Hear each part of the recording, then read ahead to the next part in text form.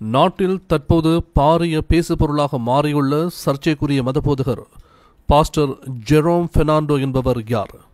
இலங்கையில் ஒவ்வொரு காலமும் பல்வேறு சரிதங்கள் சர்ச்சைக்குரிய கருத்துக்களை மையப்படுத்தி பேசுபொருளாக மாறுவது விளைமை அண்மித்த காலங்களில் ஞானசார தேரர் உட்பட பலரின் பெயர்களை உள்ளடக்கிய பட்டியல் என இந்த பட்டியல் நீண்டு கொண்டே செல்லும்.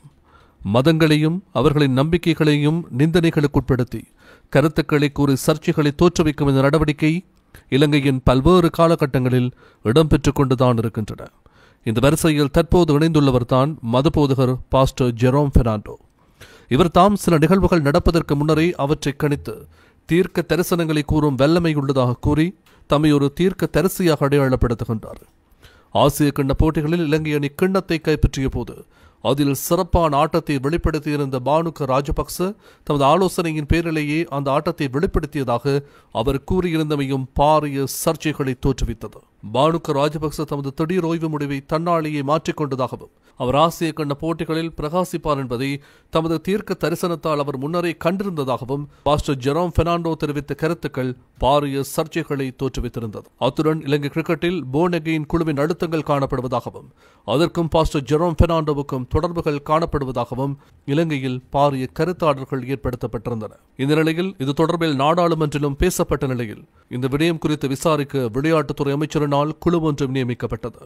இத்தகைய சூழ்நிலையில் தற்போது பாஸ்டர் ஜெரோம் பெர்னாண்டோ புத்தர் மற்றும் இஸ்லாமிய மதம் தொடர்பில் வெளியிட்டுள்ள கருத்துக்கள் நாட்டில் பாரிய கொந்தளிப்பை ஏற்படுத்தியுள்ளது.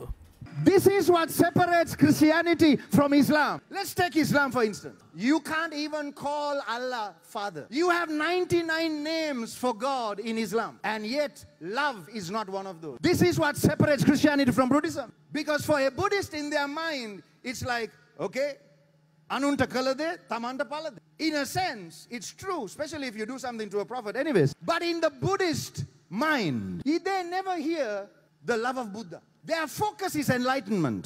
பல்வேறு எதிர்ப்பு குரல்களுக்கு மத்தியில் பாஸ்டர் ஜெரோம் பெர்னாண்டோ தொடர்பில் உடனடியாக விசாரணைகளை நடத்தி அறிக்கையொன்றை சமர்ப்பிக்குமாறு குற்றப்புலனாய்வு பிரிவுக்கு ஜனாதிபதி அறிவுறுத்தல் வழங்கியுள்ளார் இந்த நிலையில் குற்றப்புலனாய்வு பிரிவினர் பாஸ்டர் ஜெரோம் பெர்னாண்டோ நாட்டை விட்டு வெளியேறுவதை தடுக்க அவருக்கு எதிராக நேற்றைய தினம் கொழும்பு கோட்டை நீதவான் நீதிமன்றத்தினால் வெளிநாட்டு பயணத்தடை உத்தரவு ஒன்றை பெற்றுக் கொண்டனர் அவ்வாறாயினும் குறித்த நீதிமன்ற தடை உத்தரவை பெற்றுக்கொள்வதற்கு சில மணி நேரங்களுக்கு முன்னரே அவர் நாட்டை விட்டு வெளியேறி இருந்தமையும் பாரிய சர்ச்சைகளை தோற்றுவித்துள்ளது. இருப்பினும் தாம் எதிர்வரும் ஞாயிற்றுக்கிழமை நாட்டுக்கு மீள திரும்ப உள்ளதாகவும் அன்றைய தினம் முன்னர் திட்டமிட்டதை போன்று வழிபாடுகளை நடத்த உள்ளதாகவும் வெளிநாட்டில் இருந்தவாறே தமது இன்ஸ்டாகிராம் பக்கத்தில் பதிவிட்டுள்ளார். அவ்வாறாயினும் பாஸ்டர் ஜெராம் பெர்னாண்டோ நாடு திரும்பியதும் அவரை கைது செய்வதற்கான நடவடிக்கைகள் முன்னெடுக்கப்பட்டுள்ளதாக போலீஸ் ஊடக பேச்சாளர் நிஹால் தல்துவ இன்று இடம்பெற்ற ஊடக சந்திப்பில் தெரிவிக்கின்றார். ஜெரம் சம்பந்தவ பிட்டத்தில் முறைப்பாடுகள் கிடைத்ததன் பின்னரே நாம் விசாரணைகளை ஆரம்பித்திருந்தோம். இருப்பினும் அவர் கடந்த ஞாயிற்றுக்கிழமை நாட்டை விட்டு வெளியேறியிருந்தார். அவர் மீது சுமத்தப்பட்ட குற்றச்சாட்டுகள் தொடர்பில் விசாரணைகளை நடத்தியதன் பின்னரே மேலதிக தகவல்களை வழங்க வேண்டும். பண மோசடி தொடர்பில் விசாரணைகளை மேற்கொள்ள சிறிது காலம் தேவைப்படும். அவர் மீது சுமத்தப்பட்ட குற்றச்சாட்டுகள் உறுதி செய்யப்படும் பட்சத்தில் சர்வதேச போலீசாரின் உதவியை பெற்றுக்கொள்ள முடியும். அவர் நாட்டுக்கு திரும்பும் பட்சத்தில் விமான நிலையத்திலேயே அவரை கைது செய்ய நடவடிக்கை எடுக்கப்படும். பணி கெம்பரூரி கரண்ட் பிரமாணாத் காலக் நெமிக்கி பாஸ்டர் ஜெரோம் பெர்னாண்டோ தெரிவித்த கருத்துக்களுக்கு எதிராக கடுமையான சட்ட நடவடிக்கைகளை மேற்கொள்ளுமாறு பிவித்துரு ஹெலோருமே கட்சியைச் சேர்ந்த சிலரும் ஏனைய சில பௌத்த பிக்குமாறும் நேற்றைய தினம் குற்றப்புலனாய்வு பிரிவில் முறைப்பாடொன்றை பதிவு செய்திருந்தனர்.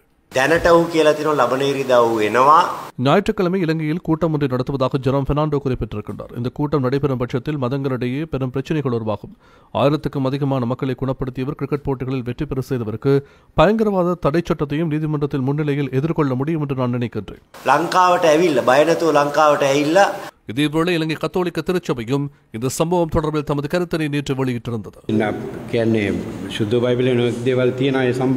பாஸ்டர் ஜெரோமினால் இந்து இஸ்லாம் பௌத்த மதங்களை அவமதிக்கும் வகையிலும் மதங்களின் ஒற்றுமையை சீர்குலைக்கும் வகையிலும் முன்வைக்கப்பட்ட கருத்துக்களை நாம் ஏற்றுக்கொள்ள முடியாது. பாஸ்டர் ஜெரோம் எனப்படும் நபர் எந்த விதத்திலும் கத்தோலிக்க திருச்சபையுடன் தொடர்புடையவர் அல்ல. அவருக்கு அனுசரணை வழங்கும் வெளிநாட்டவர்கள் தொடர்பிலும் சமூக வலைத்தளங்களில் கருத்துக்கள் வெளிவந்துள்ளன. இந்த விடயம் தொடர்பில் உரிய அதிகாரிகள் விசாரணைகளை மேற்கொள்ளாதது சந்தேகத்துக்குரிய விடயமாகும். அவரிடமுள்ள சொகுசுமிக்க வசதிகளை நோக்குகின்ற போது அவற்றுக்கான அனுமதியை பெற்றுக்கொண்ட முறைமை தொடர்பிலும் பிரச்சனைகள் காணப்படுகின்றன. එකක් නෙවේ.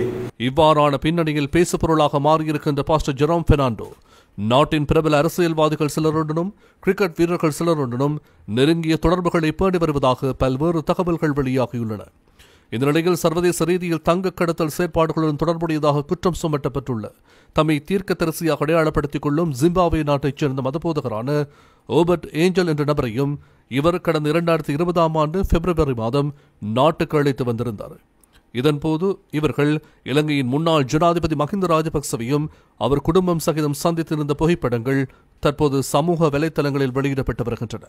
இதனிடையில் பாஸ்டர் ஜெரோம் பெர்னாண்டோ தொடர்பில் இன்று இடம்பெற்ற ஊடக சந்திப்புகளில் இவ்வாறான கருத்துக்கள் முன்வைக்கப்பட்டிருந்தன. இவருடன் அரசியல்வாதிகள் மற்றும் சர்வதேச கிரிக்கெட் வீரர்கள் பலர் தொடர்புபட்டுள்ளனர் பாஸ்டர் ஜெராமுடன் தொடர்புபட்ட நபர்களின் பண மோசடி தொடர்பில் சர்வதேச ஊடகங்களில் தகவல்கள் வெளியாக இருந்தது. கத்தோலிக்க திருச்சபைக்கும் பாஸ்டர் ஜெரோமுக்கும் அவ்வித தொடர்புகள் இல்லை என்று குறிப்பிட்டிருந்தனர். ஆனால் இவர்கள் அனைவரும் ஒரே கடவுளை வழிபடுபவர்கள். இந்த விடயம் தொடர்பாக மேலதிகமாக பேசினால் எனக்கும்